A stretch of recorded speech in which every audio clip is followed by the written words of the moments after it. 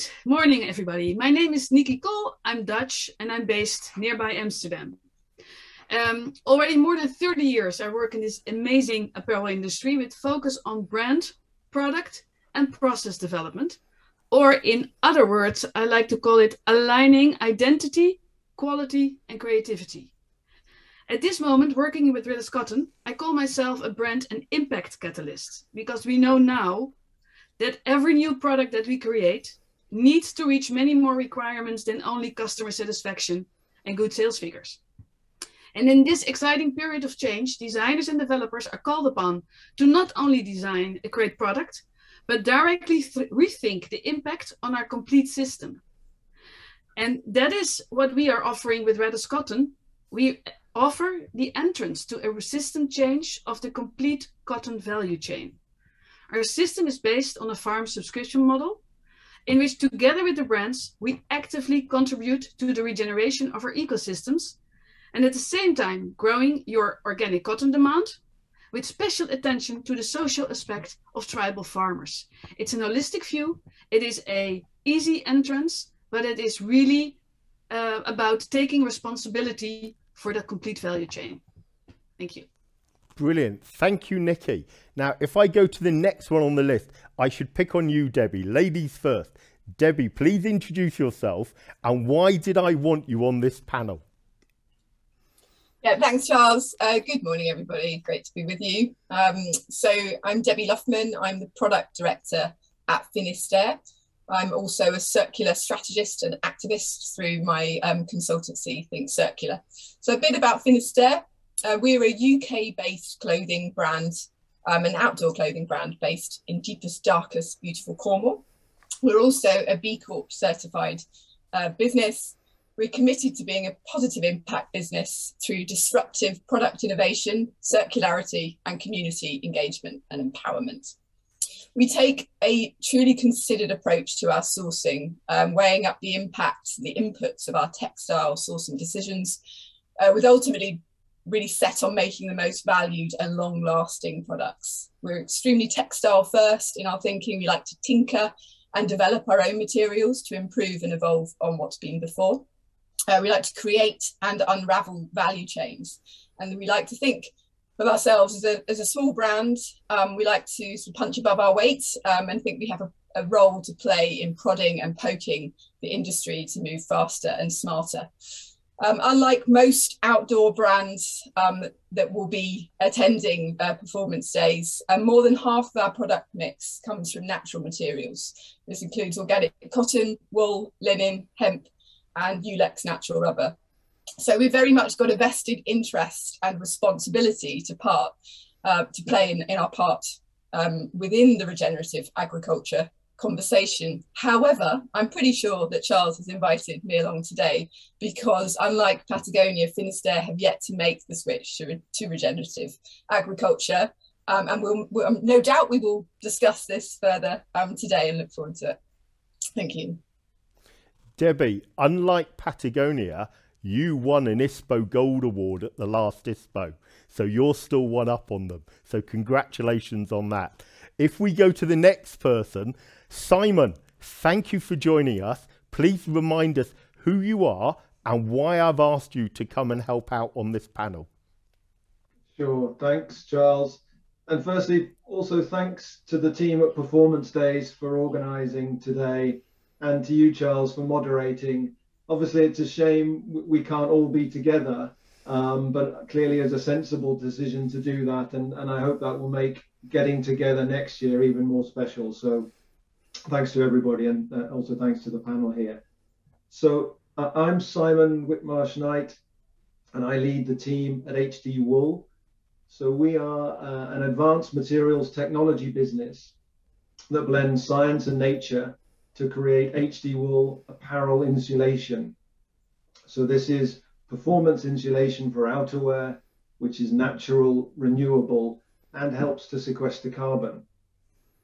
So um, in terms of why you've hopefully asked us to join or myself to join the panel and, and represent our team back at HD Wool, Charles, really we have, we work directly with our growers, um, which amongst other things means we're able to pay them a fair price for their wool, something we may talk about later on. And last year, we joined the Savory Institute as their first value chain partner, bringing land to market verified regenerative wool to global apparel brands and retailers. So really, um, to, to, to, add to this panel, I hope, again, representing the team's experience on setting up value chains, establishing sort of third-party verification systems, and taking the story of wool, which, as we know, is the original sort of performance fiber, downstream to brands and retailers. And finally, offering that full traceability back to consumers just in terms of traceability, though, Charles, you know, traceability for traceability's sake is pointless uh, unless it can lead to real change. And for us, that change is in helping farmers move towards regenerative agriculture practices. Thanks. Simon, great. Now, the last character I've invited onto the panel is actually a friend and this person keeps me more grounded than anybody else. He has educated me more about the science of fibers than anyone that I've come across. But so he keeps my feet on the ground and he keeps sense. He's a proper Yorkshireman. So if I can say, Mark, welcome to the panel. Give us a bit more about what you do and what you're going to bring onto this panel, please. I, I, thought you'd invited me along for my dashing good looks, Charles. You've just ruined that idea now. Um, I'm Mark Taylor. I am a, a, researcher at the University of Leeds, where I um, I teach sustainable fashion along with some colleagues to our undergraduate students, and sustainability has become a, a really big part of um, the teaching um, that, that, we do with our undergraduates at the moment. Uh, because as you, everybody here and everybody listening is probably aware it's a, it's a really big thing um, in the the global apparel market. I nearly said fashion, but obviously not everybody's into fashion. And yeah, so we we do research. We've we've worked with uh, HD Wool in the past, um, and what else can I say? I think I'm about there, Charles. Sorry. Mark, thank you. Now, I've actually assembled a couple of questions for this panel. And I'm going to read out all three questions because I want the panel to have a chance to think about them, but we'll go through one question at a time. But the point of this panel is that it's open for any of our audience to send questions in. Now, if you go to the page that hyperlinked you to this presentation, there might be a Slido chat bar on the right hand side. If there's not, Look underneath the image of us all and you will see a View More tab. Press that and the Slido bar will appear at the bottom. Or you can go there on the left-hand side through the navigation bar. So the three questions which I'm going to pose to the panel and I want to listen to the answers. First one, um, is regenerative agriculture just a buzzword? Can it really make a difference to the bad reputation that apparel already has. So I want to know a bit more about the substance. The second question is if regenerative agriculture is that brilliant, why is there not more of a take up of it? Why aren't we all getting on board with it? And the third question is what are the hurdles that you have already seen in allowing people to take up regenerative agricultural product and the way that it matches or mismatches with the brand's values. So the first question is about is it a buzzword or is there something behind it? The second question is if it is this brilliant, why haven't more people joined in? And the third question, and there's going to be a really interesting difference of answers between the brand of Finisterre and the supplier of someone like RaddisCotton. And I want to I don't want trade secrets revealed, but you can give me a very good indication about it.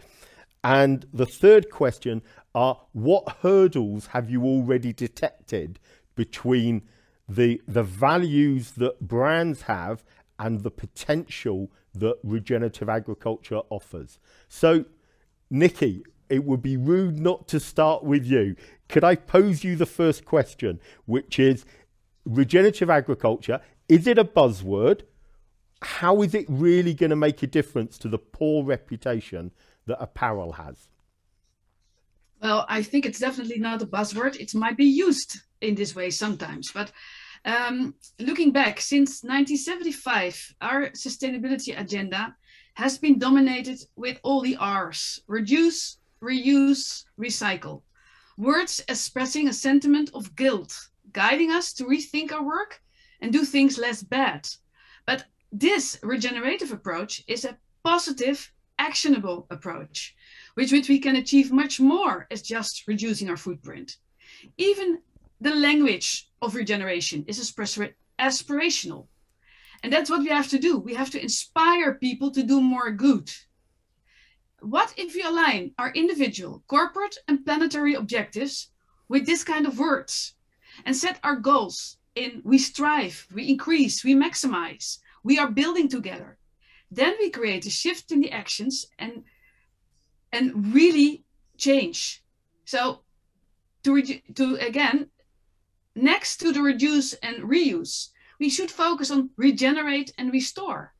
And with this positive, holistic, and social view, I feel personally very strong that the apparel industry is and should be the absolute frontrunner in embracing this fundamental transformation of their complete supply chains. Combining this with brands communications force, we are really able to create a influencer industry and inspire many more to follow this route. So um, it's not a buzzword, it's a must. Niccy, that's absolutely great. I'm going to now throw it to the other side and go to Debbie. Debbie, you're a brand. You're known for your wonderful practice in using better materials.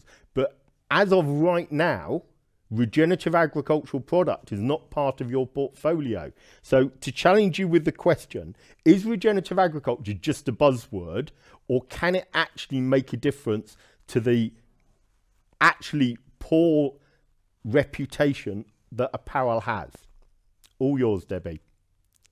Yeah, thanks, Charles. Um, yeah, so I mean, I think just to actually jump on the point I think that Niccy raised there around guilt, and I think that is is absolutely where we're coming from here. So the question itself is sort of posed from having a bad reputation, and I think I think the real problem we have here is it's, it's the wrong approach. So we're thinking marketing first there. We're thinking what's a brand putting out? And, and that's why, you know, we do get into the murky world of buzzwords. And that's the danger because we're trying to say that regenerative agriculture is as easy as recycled poly. Yes, we say, oh, brand needs to make a switch. Unfortunately, it really is not that easy, as, as both um, Simon and Niccy will know going from a you know a standard cotton or wool and trying to put in a regenerative process and approach is completely different and i think therein sort of lies the problem for me and why the brands and consumers are confused because you know oh do i want regenerative? Is that better? Is it better than cotton? Is it better than, than organic? Is it better than recycled polyester? Everyone's confused. And i think we're trying to simplify and boil down to just you know one word terms sustainable fair trade regenerative whatever it may be. And i think there's just a real real danger actually that we just we're jumping from one thing to another. I think regenerative agriculture absolutely is the right approach. I think i'd be crazy to say otherwise um, but i think it's just not as as as we will no doubt talk about it's not as simple as just going okay tomorrow nominate a regenerative wool, please? I, I, mean, if we have more time, I'll talk about that in the next question, I think. But yeah, it's just let's not simplify this. We all need to get on board. We need to collaborate, work together. Um, but it's not going to happen overnight. Debbie, that's fantastic. A few conversations on the head, and I'm sure it's going to start off. So, Simon, now on to you. I want to challenge you with that same question because we've had, hmm. sorry to put the pressure on you, we've had two opening statements which are brilliant and have painted the field. Now, you are a wool merchant, so you've been processing it, so you're in the middle, somewhere between what Niccy's doing, what Debbie's doing. So, the question to you regenerative agriculture, is it a buzzword or can it really make a difference? Thanks, Charles. If, if Joe's watching, I'm not sure he's going to be super happy with being called a wool merchant, but I know what you mean, so that's okay. Um, but uh, yeah, so for, firstly, just picking up on some things that both Niccy and, and Debbie just said there, Charles. I think, Niccy, I love this idea you mentioned there of the focus has been on doing less bad, and we really should think about doing more good. This is also something I picked up from listening to Charles talk a few times. And I was reading a, a, a Vogue article actually last night, just thinking about getting ready for this morning. Uh, it was an article from last year, and, and one of the, the interviewers was talking about, you know, less bad is no longer good enough. It just means you're not part of the problem. Um, and then she went on to say, but what about doing more good and being part of the solution, which I thought was a really interesting shift um, and something we're trying to do when we talk about planet positive clothing. So agree with you on that one, Niccy. And and Debbie, not, definitely not giving Finisterre a hard time here because you know, obviously we've had conversations around moving to regeneratively sourced or regenerative uh, agriculture sourced wool, Debbie, with you and the team. And um, you're right, it does take time. That's part of the challenge. You know, it takes a bit of time. Again, Charles, it's great you've got us all together because we want to do more together as an industry to really, you know, accelerate things by working together and sharing knowledge. And to be fair to Debbie, I think part of the challenge, certainly within the UK currently, is the fairly limited supply of wool from regenerative agriculture sources. It's changing and growing, but for now it's a it's a fairly um, uh, constrained supply. But just very briefly, coming back to sorry, coming back to your original question, Charles. You know, is it a hot, is it a buzzword? I don't know about buzzword. It's certainly a hot topic. You know, when I googled regenerative agriculture this morning, I quickly got 13.7 million results which just sort of highlights, I think, how interesting it is for the for the industry in general. And um, of course, it's it's one solution. It's not the only solution, Charles. I don't think any of us would pretend that. Um, you know, there are lots of other things to consider. Um, not not least of all, sort of changing some mental models in the industry. Um, you know, for example, longevity and durability again is a, a topic I know you're you're passionate about. Um, you know, somebody once said to me, you know, there's nothing more sustainable than a garment that lasts. And I think that's another sort of mental model and shift that the industry is looking at. But in terms of regenerative agriculture, our our bet, if you like, is on Savory and their ecological outcome verifications. Um, you know, these are sort of actual metrics and measurements rather than just a cert, sort of a certification and tick box and looking at things like soil health and biodiversity and, and the ecosystem.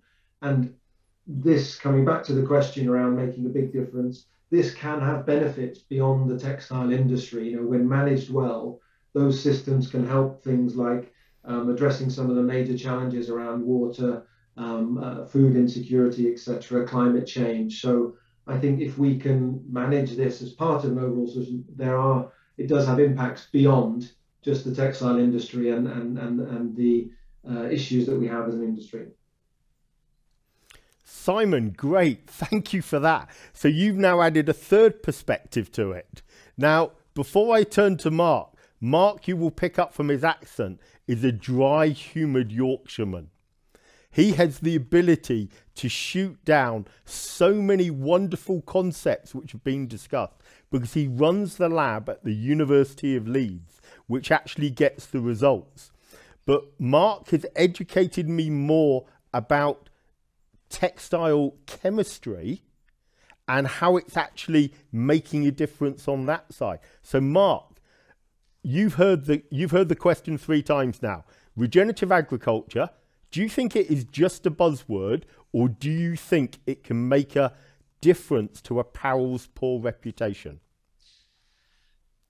I think well, not just apparel. I think farming as a whole can benefit from adapting more regenerative techniques.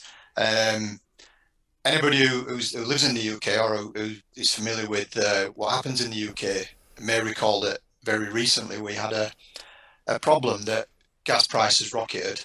The, the two plants that make most of the UK's carbon dioxide for both the food and the fertilizer industry were closed down because of the cost of the gas and all of a sudden there's no fertilizer available in the UK for the farmers to plough into the ground to feed their plants. And the only reason they need to buy this fertilizer to plough into the ground to feed their plants is because they're not using regenerative techniques and they're not preserving soil health naturally. They're not rotating their crops. Um, and so their reliance on modern techniques resulted in a, in a major um, potential catastrophe, which the government averted by throwing loads of money at it. But you know, a better solution would be if farmers were were doing things in in more considerate ways for their their their, their land. Um, so yeah, I actually, I genuinely think it's not it's not a buzzword, and you know, I could just repeat what everybody else has said, but there's not a lot of point.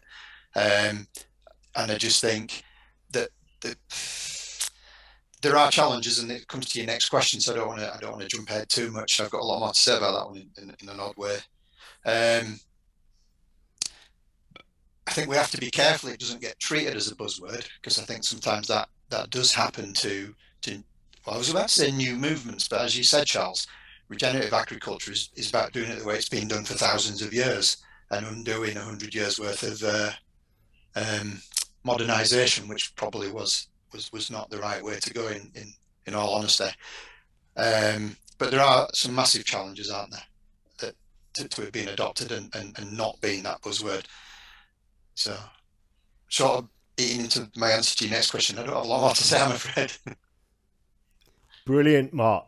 Um, as you, as everyone realizing, everyone viewing this should realize, if Mark doesn't shoot it down in flames, I'd recommend to everyone have another look at it. Mark is renowned for bringing sensibility, and if he cannot destroy it, then I think we should all have a more thorough look at it. But so I'm going to go on to the second question, a lot shorter this time, Niccy, which is literally if regenerative agriculture is brilliant, why has there not been more of a take up, in your opinion? And I should I should answer that shortly. Um, well, I think um, because it is a, a, different way of thinking. Um, at this moment, companies have their structure and organizational setup in which we created efficient workflows, but in siloed departments, strict timeframes, and transactional relationships with stakeholders. To become part of a regenerative agriculture system, we need to involve our organizations in a complete different process, including long-term commitments, long-term planning, and absolutely the will to, as Mark just said, unlearn uh, of our past, but really to learn, understand, and collaborate together. And a collaboration which is based, based on, on creating relationships again, and not only transactions. We need trust and values first. Uh, we need courage because it is something we don't know yet. And yes, to say it very short and bluntly, a harvest um, is not plannable. And uh, that risk we need to take into the whole uh, collaboration. And I think that's one Brilliant. The, the... Thank you, Nick. Debbie, same question to you. If I remind you, if regenerative agriculture is this brilliant, why hasn't everyone embraced it already? Yeah, thanks, Charles. Um, yeah, I mean, to be slightly repetitive on my previous answer, I think it's because people are really fond of quick wins. Um, and I think we we saw at COP so, so little interest and conversation around farming. Um, and what was there was very much around food. I think people are increasingly interested in lab-based textiles as the sort of cheap and shorter, faster kind of way out of this crisis. Um, and I'm not saying that there isn't a role for synthetics. I think there is a role for synthetics, but we think we can recycle ourselves out of this problem in a very blink of view. And I think agriculturally grown textiles are far more complex and harder to disrupt, as Niccy said. It's not a quick a quick fix, um, but it, it's not to say that there isn't a place for um, for regeneratively grown um, agriculturally a grown product, but it's it's not a quick fix, and the current system is quite frankly broken. Our our fashion, outdoor clothing, textile, whatever you call it, it is broken, and that's what we need to address. Actually, that systemic change. It's not going to happen overnight, but we do need to address it. That's yeah, I could go on, but I better not. So yeah, the system is broken. That's what we need to be looking at, rather than looking at hangers and swatches. That's really good, Debbie. You, you're, I'm sure you're revealing too much information to everybody, but thank you for sharing it. Simon, you're the poor person stuck in the middle. You've got the farmers supplying you on one hand, and you've got the customers like Finisterre on the other hand. Why aren't you a millionaire? So, if I ask you the question formally, if regenerative agriculture is that brilliant, why hasn't everyone embraced it?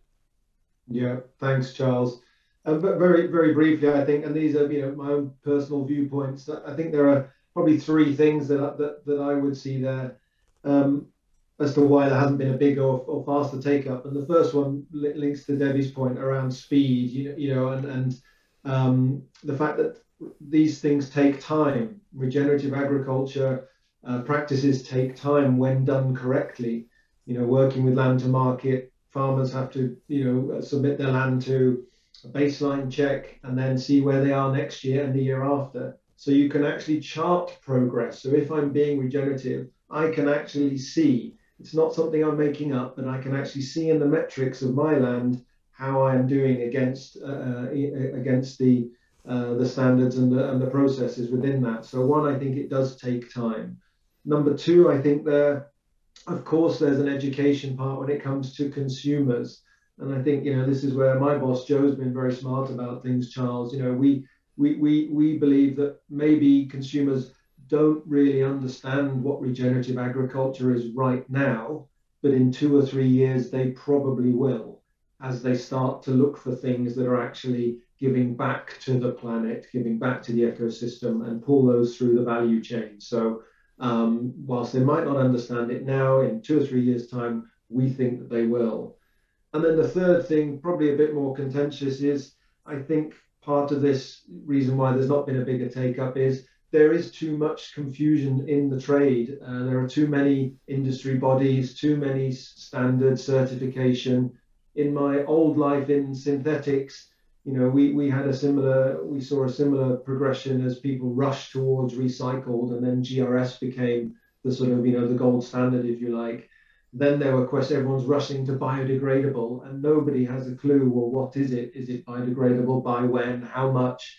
And that was a bit of a wild west. And, and, and therefore, I think if we can uh, hopefully come together more as an industry, share more as an industry, and have a unified approach to measuring regenerative agriculture, that will help. Simon, where I was jesting with you before this, HD are a company that I've had a close look at. And the thing which has struck me most is the amount of investment and preparation you've had to make to make sure the standards are being upheld. And it's the Savory Land to Market scheme which has blown me away. I know Rodale do things, I know Indigo do things, but the Savory that you've chosen to be part of is the hardest part of you know, regenerative agriculture. So, full respect, you're putting an awful lot of work in at this early stage to seed it. So, hopefully, it, it will it will benefit you in in in time to come. But Mark, can I have some logic, please, from Yorkshire? If regenerative agriculture is that brilliant, why haven't more people taken it up, in your opinion? I'll have to try and decipher the, the, the scribbled notes I made. Um, obviously, everybody's familiar with organic cotton. It's um, I, I, won't necessarily tell you all my viewpoints on organic cotton, but it, it's very popular out there. Does anybody actually know how much of uh, global cotton production is organic? It's less than one percent, and that's been around for years. And, and there's there's lots of inertia there. So why is regenerative agriculture suffering from a, a, a similar sort of inertia issue? Well, there's lots of reasons. If you're a supplier um, and you're getting lots of pressure from your your customer, the, the, the you know either be, be the the outdoor slash fashion brand or be the um, the fiber buyer or whatever, they're, they're trying to drive your prices down. And a move to regenerative agriculture in the short term is probably going to re- result in um, lower. Oh, what's that word? Um, lower volume of your product at a higher price. Um, and that doesn't work when everybody's trying to, you know, make as much product as they can at the lowest price possible. So it's going to require a rethink from from brands and probably from the customer at, at, at the end, to be honest. Um, yeah, so quantity. Uh, do you want to just finish that? Mark, on this point, um, those are the first two questions. Before we go into the third question, can I point out to the audience that you can ask questions direct and you will get answers from four people who I think have a greater hold on the information chain passing through this market from the, the different perspectives. The the panel, I've, I'm well chuffed of being able to get all four of them, and they all contribute a slightly different opinion. But I think there's a common theme going going through the centre of it. If you go to the Slido bar, if you can see your screen, it's on the right hand side. If it's not there, go to underneath the picture of where I am at the moment, and there'll be a view more button you can press and it will open up, or you can use the uh, um, the menu on the left hand side of the screen. But yeah, to to that final question, and Niccy, I'm going to task you yet again. Could you give such encompassing our answers? What hurdles are there between what regenerative agriculture offers and what the brands want? So, especially in terms of values, where do you see the fall down between what regenerative agriculture is bringing to the conversation and what brands want to take away from the conversation? Where, where are the discrepancies? Niccy, all yours. Um, well, I'm not sure if I can add that much more, as Debbie just said. It's it's in between the quick wins uh, about their beautiful sustainability reporting uh, and and the real action. Um, and for real action, for real systemic change, um, yeah, you, you need you need to invest first as well. Um, and what Mark just said uh, concerning prices, etc.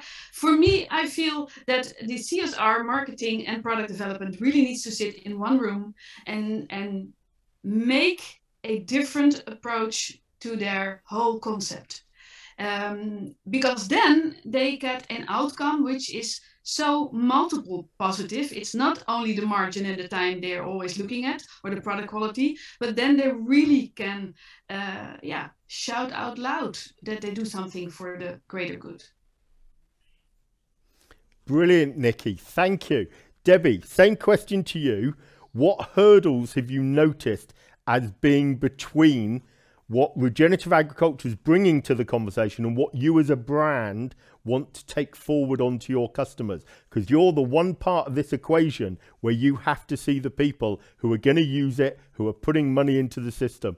So where's the mismatch within the process debbie I think the current issue really is that regenerative um, is not consumer facing. And I think we sort of want it to be, but it's not. And, it, and it's lacking standardization. So we want to squeeze it through the kind of fair trade chocolate model so that it goes straight to the consumer, but it currently isn't. There's a huge amount of, of lack of understanding and storytelling before you get to that moment. So I want standardization as, as a as somebody who wants to source materials, but I'm keenly aware that it's very hard to standardize you know, use the same um, criteria uh, for, for, standardizing the cotton to to um, potatoes, you know, to wool. They're incredibly different geographically. They're incredibly different from, for a myriad of different reasons. But we, we actually do need standardization if we're going to be able to tell the story from farm through to consumer. It's a long way at the moment from farm to consumer, and I think that's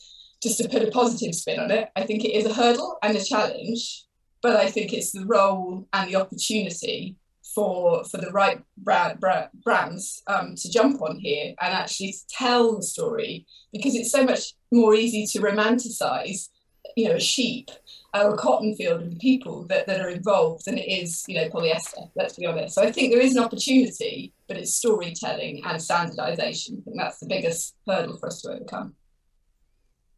Great stuff. Simon straight on to you you know the question where do you see the mismatch between what regenerative agriculture is bringing to the conversation, but what brands want to take out of it? Why is there a mismatch? What is it? Yeah, thanks, Charles. Again, echoing some of the points that Debbie and Niccy have said. I think, firstly, for us, it's about being honest, Charles. You know, it's not a panacea. We have to help the brands understand where this uh, story and, and product could fit within their, their product range. So that's the first sort of a hurdle, I think, um, as you mentioned, Debbie, you know, um, really just helping them understand where does it fit, where does it fit versus other things, where could it be a, a you know a good alternative, what are the benefits of that, um, and just making sure everybody's really clear on, on where this could go versus something else. Um, and secondly, I think again, it was mentioned but, um, earlier on, for us, this is part of the, the hurdle is, is you know growing the supply chain within the UK. So we have to demonstrate to our growers that there is a market out there. There is, and it is it is increasing. But we really want to partner with you know with brands and retailers to help pull through this story to farmers who, as we know, have a tough time anyway. Um, and if we can show them that by adopting regenerative agriculture practices, we can help them in many in many different ways, that I think is is another uh, another challenge to overcome. So that's where we're really happy to be working with the likes of Finisterre and others, um, you know, brands and retailers with whom we can partner that can pull through the, the demand and help show to our growers that uh, this thing called regenerative agriculture will uh, will give them some payback and hopefully some premium for their extra investment. Brilliant, Simon. Thank you. Um, now, Mark, finally to you. It's this values questions, values that regenerative agriculture offers, but what are the values that the brands or the users want to take away? Uh, I might answer a slightly different question um, in trying to answer that question, Charles. Um, in the, the, the, the, question you sort of preempted us with was what are the hurdle, what hurdles are there in matching brands value position? And I think brands have got to think really carefully about that, this this this idea. Um, regenerative agriculture helps address some of the issues with the, the raw materials feeding into the products that the industry are making. Um, but if we're still making too much product, then it doesn't matter whether it's regenerative or or it, or it's you know it's exhaustible. We're still we're, we're going to be causing more damage than we need to in trying to make these products. And brands really need to think really hard about where they stand in terms of that. You know, obviously every brand wants to sell more stuff, but if every brand makes more stuff in the attempt to sell more stuff, that just means more stuff gets made and more damage gets done, and and then it all ends up in a warehouse in North Yorkshire somewhere on a big bonfire if you're a very famous fashion brand. Um, and obviously, none of that's good for the environment or good for sustainability or good for us. Um, so the, you know, it, it's it's one part of that life cycle of a garment. It's a very important part of the life cycle of a garment, but we need to be thinking about making garments that last longer, that have emotional durability as well as physical durability, ones that can be repaired, that can have other lives. These are all really important aspects regardless of what material you use to make a product, um, to make sure that these products have a longer life and, and people buy less of them, which I know is not what I should be talking about at a trade show that's aimed at industry and the trade, but you know, it's the truth of the matter. We need to be making garments that people keep for longer. Um, and then regenerative agriculture could be a really important part of, feed, of, the, of the feedstock for those products we're making. Um, but if we carry on making in the quantities we do, Debbie's idea that everything could be more natural and we should reduce synthetics is impossible to achieve because you know cotton is already 30% of global fiber production. And uh, if you want to grow more cotton you're going to have to grow less food which means you know some of the 9 billion people on this planet might not get to eat properly. And i'm not sure clothes are so important people should be starving. So you know we need to be looking at this massive whole picture of sustainability and everything that and the damage that the industry is doing as a whole and we need to be starting to address every aspect of it. And I just think this is is a key starting point. I'm sorry for rambling and going off topic a little bit, but I felt it needed to be said. Sorry. Thank you. Look, what I'm taking from that last question is actually an undercurrent that some brands have values and some brands just sell product. And is that the massive gap? The brands with values are not having a problem with what regenerative agriculture is bringing to the conversation. But those that just want to maximize product sales or churn, they're not part of the conversation, which is a shame. But, you know, life will go forward. I now have a whole, there were more questions on this panel than both the previous panels put together, both the previous presentations put together. I now need to restrict us. We've only got five, possibly 10 minutes left. I'm going to read out every single question. Pick whichever one you want to answer. All right. So if I start with the questions, How are the yields of regenerative agriculture compared to harvest per acre of conventional production processes? First question. Second, what percentage of consumer apparel made out of natural fibres could be produced out of regenerative natural fibres today and in a best case for the future? Third question. Thank you, Frank. Do you see any serious challenge related to fake certification? How can it be avoided so as not to prompt the problem? Next question, Becky. So, for the regenerative agriculture to become mainstream, we need to be producing less and more slowly, which seems to be key to so many of the issues of the industry. Chris then says, in which aspects does regenerative go further than organic agriculture? Gemma has come in and said, do you think the startup activewear brands should be focusing on recycled fibers as they are more accessible or, or biodegradable and regenerative alternatives? So that's a, a, a triple solution sh- she's recommending. And the last question I'm going to read out, otherwise we'll never get to them, is Does regenerative agriculture differ depending on the country or the climate or the ecosystem? And how can that be understood universally? So I've read you a whole bunch of questions. Which of you wants to answer which one? Just stick up your hand and we'll go straight to you with whatever question you've got there. Niccy, is that a hand I'm seeing up?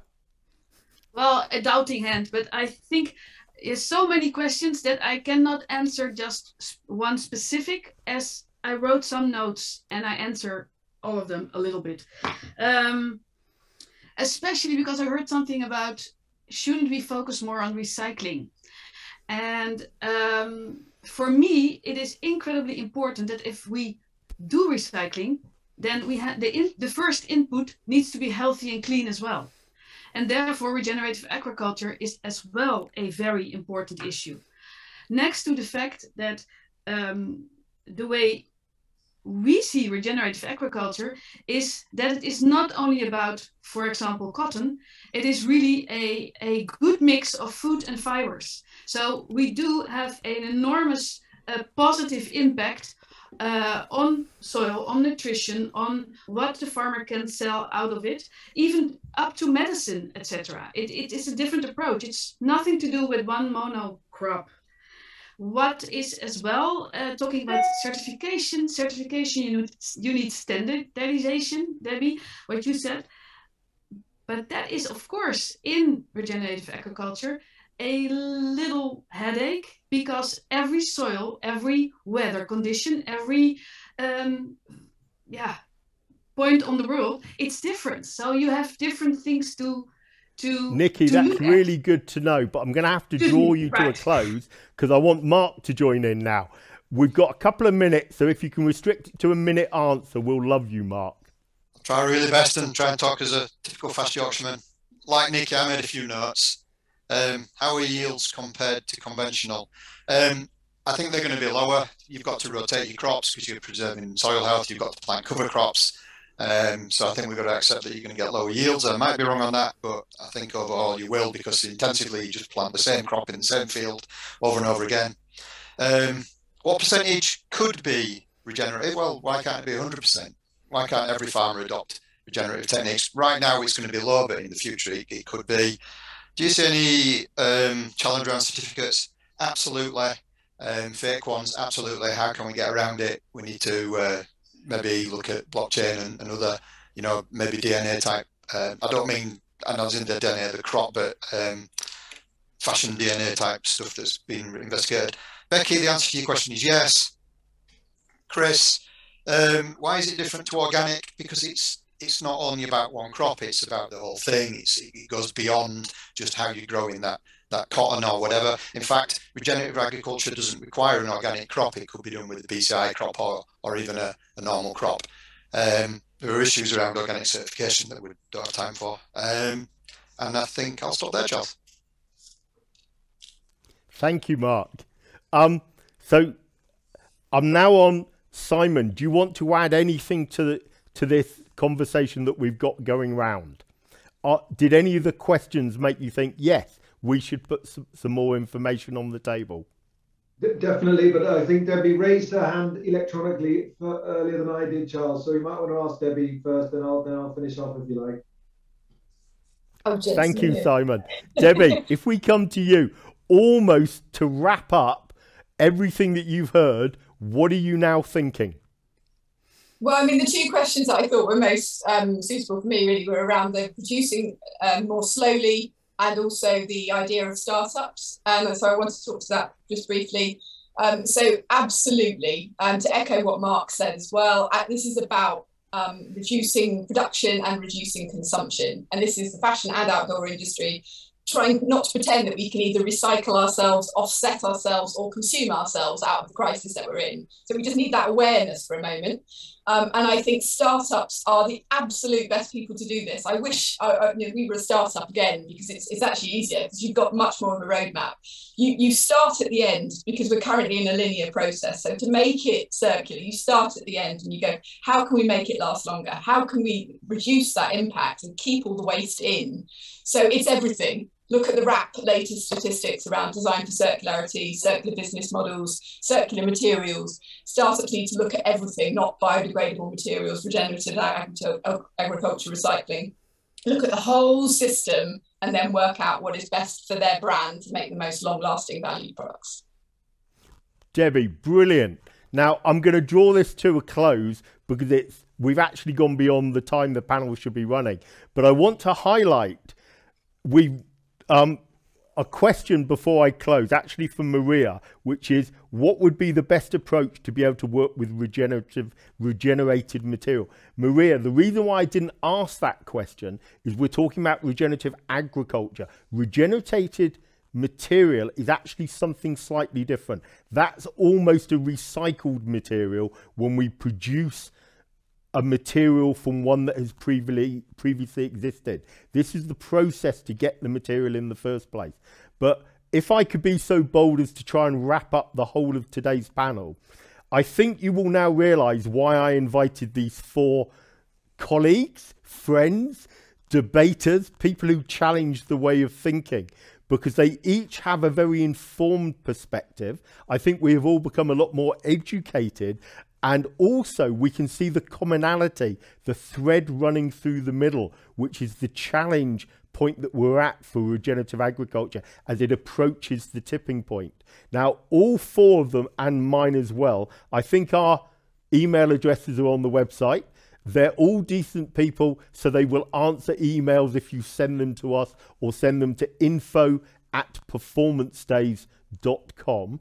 But thank you to the panel. You have provided so much wisdom that I should just shut up and not talk about this, but refer everything to you guys in future. Thank you for taking part. To the audience, I think this subject is going to come back at the next Performance Days or functional fabric fair. We're just at the start of that wave, and that wave has been growing in strength and more people want to find out more about this subject.